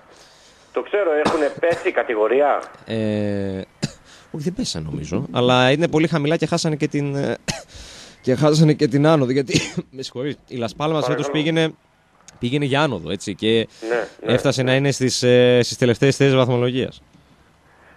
Όσο και, και το Γιουνές, μην τον υποτιμάς. Είναι κύλερο ο Γιουνές. Για μένα ο Γιουνές για δεύτερη επιλογή του χρόνου δεν θα ήταν άσχημος, να σου πω την αλήθεια. Είναι, ε, το Γιουνές μην τον υποτιμάς καθόλου. Απλά Είναι ο Γιουνές είναι ένας ποδοσφαιριστής συγκεκριμένης χρήσης, δηλαδή μέσα στην περιοχή. Ε, ναι, αυτό θέλουμε. Γιατί υπάρχουν και τέτοια παιχνίδια Αυτό που είναι. πρέπει να γεμίσει η περιοχή. Τώρα άμα ο Γιουνές πόσα παίρνει δεν ξέρω.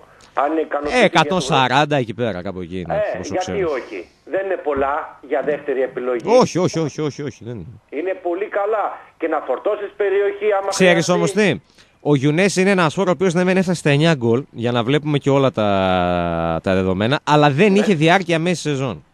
Ναι, αλλά πόσα δοκάρια είχε; Ήταν και άτυχος φέτος. Ήταν σίγουρα και αυτό έπαιξε ρόλο και χαμένα πέναλτι είχε. Τα μισά, τα μισά δοκάρια, τα μισά δοκάρια να έβαζε και τα πέναλτι θα είχε 15 γκολ. Ναι. Δηλαδή θα είχε ακριβώς σχεδόν τα γκολ που είχε βάλει στην Ξάνθη την τελευταία του χρονιά. Με το αν όμως πολλές φορές δεν παραλειτουργούμε. Ναι, συμφωνώ. αλλά δεν μπορεί να πάει σε ένα ποδοσφαιριστή κάθε χρονιά στραβά. Εγώ το Γιουνές το, τον πάω πολύ γιατί και κεφάλι έχει και πατάει περιοχή και σώμα δυνατός είναι, μου θυμίζει Αμπρέου. Μπορεί να μην ταιριάζουν, ας πούμε, εντάξει, να μην είναι το ίδια κλάση, αλλά μου αρέσει πολύ ο Γιουνές. Ναι. Αν κάτσει με τα ίδια λεπτά, γιατί όχι; Α δούμε. Πάντως, φίλε μου, οι προσδοκίες είναι μεγάλες. Μμμ. Θα σου πω τον λόγο. Και φταίει ο Καρυπίδης. Γιατί; Ε, με αυτά που μου ανεβάζεις με φτιάχνεις τη διάθεση. Χτες, Εντάξει, κοίταξε. παθιάζεται δώσ- κι αυτός, γουστάρει, δώσ- δεν είναι. ν- Ναι, γουστάρει, αλλά δώσε μια συνέντευξη τύπου. Πες στον κόσμο τι μπορείς να κάνεις και τι δεν μπορείς να κάνεις. Γιατί εγώ καταλαβαίνω ότι ο άνθρωπος, ας πούμε, και το, Χα- και το Χαριλάο, να πούμε, και το, το φτιάχνει, θέλει κανένα εκατομμύριο εκεί. Θέλει, θέλει, Αυτά είναι όλα λεφτά, να πούμε, δεν είναι θέλει. ψίχουλα. Ναι, ναι. Αλλά δώσε μια συνέντευξη τύπου και πες τι μπορείς να κάνεις και ποιο είναι το πλάνο σου Ναι. για την επόμενη χρονιά. Ναι. Γιατί με αυτά που με ανεβάζεις τρεις την ώρα, εμένα με φτιάχνεις. Δεν έχεις Και κανένα. εγώ του χρόνου δεν θα ανεχτώ να είναι ο Ατρόμητος πάνω από μάνα. Θα δούμε πώς θα, τι θα γίνει, πώς θα ξεκινήσει η χρονιά και αναλόγως θα προσεγγίσουμε ρεαλιστικά τι μπορεί και τι μπορεί να κάνει ο Άρης. Τέλος πάντων, να είσαι καλά επειδή περιμένουν άλλοι δύο. Ναι, ναι, ναι, ναι. κα- Να είσαι καλό καλά, φίλε απόγευμα. μου. Καλό απόγευμα Γεια, επίσης. γεια. Πάμε στον πρώτο τελευταίο για τη σημερινή εκπομπή. Καλησπέρα. Χαίρετε. Χαίρετε. Γεια σας. Μας ακούτε; Ακούω, ακούω. Γεια σας. Λοιπόν, ε, τώρα ακούγομαι έτσι; Έλα κλεωμένη, έλα. Λοιπόν, μόνο 7. Τι μόνο 7. Το χρόνο θα ξεκινάει από 15. Εσύ ανοίγεσαι, Λοιπόν. παρα- εσύ ανοίγεσαι παραδοσιακά πάντα. Αρχίζει λοιπόν η ομοιογένεια, αυτό που, λέω, αυτό που έλεγα πάντα ότι πρέπει να αποκτήσει ομοιογένεια η ομάδα Ναι. και το να φύγει ένας παίκτης δεν χαλάει η ομοιογένεια. Η ομοιογένεια χαλάει άμα φύγουν 5, 6, 7 παίκτες. Ναι. Και θα πρέπει αυτό που λέμε τόσο καιρό, άμα έρθει καλή πρόταση να παραχωρηθεί κάποιος παίκτης. Ναι. Έτσι. μια επιχείρηση, γιατί οι ομάδες είναι επιχειρήσεις, άμα αγοράζεις και Συμφωνώ. δεν πουλάς, Συμφωνώ. κάποια στιγμή χρεοκοπείς. Έτσι είναι. Λοιπόν, τώρα ο- εγώ είμαι ικανοποιημένος και χωρίς μεταγραφές από τον Καρυπίδη. Έτσι όπως είναι τώρα η ομάδα έτσι να είναι. Ε, δεν γίνεται. Δεν εντάξει, έχω, πρέπει να κάνεις κάποιες ε, κινήσεις. ακούω για το Σούντγκρεν, ελπίζω να είναι καλός παίκτης αυτός. Αλλά δεν θα μιλήσω φέτος να κάνουμε μεταγραφές εκεί, να κάνουμε μεταγραφές εδώ. Εγώ είμαι ικανοποιημένος από το ρόστερ που υπάρχει αυτή τη στιγμή. Ναι. Ε, δύο κουβέντες μόνο για το, για το μπάσκετ, δύο κουβέντες. Περιμένω επιτέλους από Πλη- τους προπονητές. Πληρώθηκαν οι παίχτες για το Μάρτιο. Παρέλειψα να το πω. Υπάρχει και σχετικό ρεπορτάζ εδώ και ώρα στο Λαμπαουτάρης. Α, το Γιάννη τον Παραπονιάρο ότι πληρώθηκαν το μήνα ε, τη δόση του Μαρτίου οι οι παίχτε. Πληρώθηκαν Ναι. οι- και οι Αμερικανοί. ναι, ναι. Κακός. Εγώ δεν θα τους πλήρωνα. ναι. Το Χάρης και τον ε, Νταλό και το Μαλό αυτούς δεν θα τους πλήρωνα. Γιατί δεν έχουν σχέση με το άθλημα. Παίρνουν τζάμπα χρήματα. Να αλλάξουν επάγγελμα πρέπει. ναι. Εγώ περιμένω από τους προπονητές Ό,τι και να είναι, να δώσουν- όταν κάνεις μια συμφωνία με έναν αθλητή πρέπει να την τηρείς. Άσχετα τι μπορεί να σου παρουσιάζεις Ναι, συνέχεια. ναι. Εντάξει. ε, περιμένω από τους προπονητές, από τον προπονητή, Ναι. γιατί ο προηγούμενος τα έκανε μαντάρα, περιμένω τουλάχιστον από αυτόν να δώσει χρόνο συμμετοχής σε δύο παίκτες που είδα πριν από λίγες μέρες τώρα στο εφηβικό πρωτάθλημα. Τους είδα και μ, με- με εντυπωσίασαν και οι δύο ε, και απορώ για ποιο λόγο δεν πήραν πιο μπροστά χρόνο Τον Κουρτίδη, λες; συμμετοχής. Και... Ορίστε; Τον Κουρτίδη λες. τον Κουρτίδη που τον άκουγα σαν όνομα αλλά δεν τον είχα δει να παίζει, τον είδα Ναι. και είναι εξαιρετικός σωτέρ. Ε, δηλαδή είναι 10 επίπεδα πάνω από τον Ταλό που είχαμε. Ναι. Ε, λοιπόν, και για έναν άλλον θα πω που με έκανε τρομερή εντύπωση το Σιδηροηλία που δεν τον είχα δει καθόλου. ναι. Αυτός ο παίκτης με έκανε τρομερή εντύπωση. Και είναι δυνατόν τώρα να, έχει, να υπάρχει εκεί, είναι τεσάρι αλλά μπορεί να παίξει από το 1 μέχρι το 5. Ε, τεσάρι νομίζω ότι είναι ο Σιδηροηλίας. Δεν ξέρω τον Μπόιτο αλλά μου φάνηκε Α, ότι είναι Εδώ τεσάρι. μοιάζει λίγο αδιάβαστο. Αν ακούει ένας μπασκετικός, μπορεί να μου στείλει, ας μου- ας με ενημερώσει. Ναι. Ε, εμένα μου θύμισε πάρα πολύ σε κινήσεις το Βεζέγκοφ ο, ο Σιδηροηλίας. Πάρα πολύ μου τον θύμισε. Έτσι να παίρνει την μπάλα απ' έξω, να κάνει μπάσιμο, να αφήνει την μπάλα στο καλάθι και μερικές φορές κατέβαζε και την μπάλα. Λοιπόν, αυτά πρέπει να τα βλέπουν οι προπονητές. Και να μην ε, κάνουν δηλαδή εγκλήματα όπως έγινε από το καλοκαίρι. Οι δύο Αμερικανοί, ο Λάκη Τζόνς και ο Μαγκή, είναι παίκτες που είναι καλοί. Είναι καλοί παίκτες. Αλλά οι υπόλοιποι είναι τζάμπα χρήματα. Επομένως τη νέα χρονιά, δεν ξέρω ποιος θα είναι ο προπονητης τη νέα χρονιά θα πρέπει να στηριχτούν στους πολύ καλούς Έλληνες που υπάρχουν Ναι. και οπωσδήποτε στην ομάδα να μπουν ο Σιδηροηλίας με τον Κουρτίδη, οπωσδήποτε αυτοί οι δύο παίκτες και αν δεν μπορείς να πάρεις, αν δεν μπορούν να πάρουν 5-6 Αμερικανούς, ας πάρουν δύο Αμερικανούς, έτσι. Δεν λέω μπορεί να μείνει ο Λάκη Τζόνς, μπορεί να μείνει ο Μαγκή, αλλά δεν, δεν- να ας μην πάρουν 6 Αμερικανούς, ας πάρουν δύο να είναι λίγο καλοί. Να μην είναι 8 και να είναι σαν το Χάρης και τον Τάλο. Ναι. Λοιπόν, και θα στηριχτεί η ομάδα αφού δεν μπορεί να λυθεί το μπαν προς το παρόν, να στηριχτεί η ομάδα στους πολύ καλούς Έλληνες, σε αυτούς τους δύο παίκτες που είπα, Σιδηροηλίας και Κουρτίδης, που είναι εκπληκτικοί παίκτες, και από κολοσσούς και από χολαργούς και από τέτοια ο Άρης δεν θα έχανε. Με τίποτα δεν θα έχανε. Ε, α- αδικήθηκε, αδίκησαν τους εαυτούς τους οι παίκτες λόγω του πολύ κακού σχεδιασμού που έκανε ο κύριος Αγγέλου το καλοκαίρι. Λοιπόν, καλή συνέχεια. Να είσαι καλά, κλεμμένη. Πάμε στο τελευταίο για σήμερα. Καλησπέρα. Μεγάλη παιχτάρα Σιδερολίας, να ξέρεις. Κλαράκι μου. Μεγάλη παιχτάρα. Και ο Πορτίδης και ο Σιδερολίας. Στέλιος. Μεγάλη παιχτάρα. Στέλιος είσαι. Ναι. Έλα, λίγο Μεγάλη βρεθιασμένος ακούω. παιχτάρα. Ε, Λέω τι έγινε στην αρχή; Ε, ε, τι να κάνω, ρε φίλε, από εχθές ήταν λίγο με τη συγκεκριμένη ομάδα έχω να θέλω. Ε, αλλά μεγάλη παιχτάρα. Παίζει όλες τις θέσεις από άσο μέχρι πέντε. Τον πάρεις και αυτό να παίζετε τάβλη σαν τον άλλον. Όχι. Καλύτερος είναι αυτός. Καλύτερος είναι αυτός. Εντάξει, ο Άρης Καλύτερος παραδοσιακά ανά δύο-τρία χρόνια βγάζει παίχτες. Σε αυτό το κομμάτι. Βασικά για τον μπάσκετ την πήρα, εντάξει. Δεν θα μας Και- πεις σε συντομία τις εμπειρίες σου από το. Έχει δύο λεπτά γιατί πρέπει να αφή- κλείσουμε και λίγο νωρίτερα. Τις εμπειρίες σου του Κλειάνη Βικελίδης. Άρα, φίλε, τι, εντάξει, έχω ζήσει και καλύτερα, έχω ζήσει και χειρότερα. Τι Να... Γέμισες Στην ποδόσφαιρο μπάλα όμως. Λίγο, την μπάλα λίγο χαμηλά τον πύχη. Μαζί σου, αδελφέ μου, και εγώ αυτή τη γιατί συλλογική έχεις είμαι. ξεφύγει η κατάσταση, γιατί να σου το πω και χοντρά, αυτή τη στιγμή θέλει ένα απαιτητέο, ένα εκατομμύριο ευρώ μέχρι 15 Ιουνίου για το γήπεδο. Μέχρι αρχές Ιουλίου. Άρχισε Ιουλίου. Που θα το Άρα πάνω παραδώσει στην η εταιρεία του κ. μεταγραφική Παζαρτζίδη. ναι, άρα πάνω, πάνω στην τελευταία περίοδο, έτσι. ναι, ναι, ναι. Για παίζουμε ένα εκατομμύριο σε αν δεν τα είχες να τα δώσεις εκεί. Τι μεταγραφές με Συν τι κάποια μεταγραφές. έργα που θα γίνουν συντήρησης στο Ρήσιο και έργα που θα γίνουν όσον αφορά τα γήπεδα του Ρησίου. Θα σου πω εγώ. Κάτι δεν μας πιάσουν κιόλας. Έλα. Λοιπόν... Α, Είναι όμως πάνω στο τέτοιο. Στη μεταγραφική περίοδο. Ξέρεις τι, ε, να θυ- θυ- τώρα έτσι, σε φάση στην οποία είμαστε θυμόμαστε ξανά γιατί ο Άρης είχε χρόνια να, να, να έχει μια τέτοια άβρα αισιοδοξίας στην, ε, στην Φίλε, ένα ομάδα. εκατομμύριο ευρώ είναι 7-8 Ναι. ξέρω εγώ χιλιάδες διαρκείας, έτσι. Κάτσε πρέπει να σου πω. Που, ναι, σίγουρα και αυτό που λες, αλλά άσε με να τελειώσω αυτό που, που θέλω για να σου δώσω να καταλάβεις κάτι. Αυτό, για, που συνδέεται με αυτό το οποίο λες και εσύ. Αυτή η άβρα είναι σαν εκείνη την άβρα που είχαμε στη ζώνη 10-11. Εντάξει. Να θυμόμαστε όμως πέρα από τα θετικά και τα αρνητικά εκείνων των χρόνων και πώς φτάσαμε από ένα σημείο και μετά σε ένα συγκεκριμένο σημείο και ζήσαμε μια εξαετία που, δε, που ούτε στους εφιάλτες μας μπορούσαμε να την, εκεί ε, να τη χάσαμε δούμε. τρεις φορές στην Ευρώπη, γιατί ε, τρεις διαφορετικές ομάδες γίνανε Μπαρτσελόνες. Εντάξει, οκ. Η μία ομάδα, ο Βόλος, δεν έπαιξε καν ευρωπαϊκό παιχνίδι γιατί τιμωρήθηκε από την Ευρώπη, αλλά τιμωρήθηκε από την Ελλάδα. Και ε, αμέσως η επόμενη ομάδα που θα παίζει Ευρώπη ήμασταν εμείς. Μέχρι Η Λάρισα εκεί που είχε- που η φτάνει Λάρισα το που είχε κάνει- πάπλωμα. Φυσικά το συζητάω. Έτσι. Η, η Λάρισα, και αν χρειαστεί να πουλήσουμε κάποιο παίχτη, Ναι. να το πουλήσουμε. 100%.